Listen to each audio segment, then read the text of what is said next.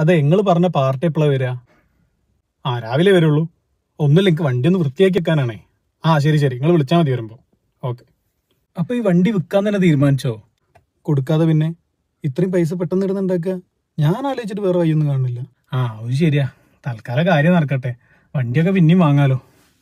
അതല്ല രണ്ടു ദിവസമായിട്ട് ഞാൻ ചോദിക്കണം എന്ന് വിചാരിക്കുക ഇതിന്റെ മുകളിലത് ഡോക്ടർ സ്റ്റിക്കർ അത് ഞാൻ ഒട്ടിച്ചേനെ. അതെന്തിനാ ഒട്ടിച്ചേ?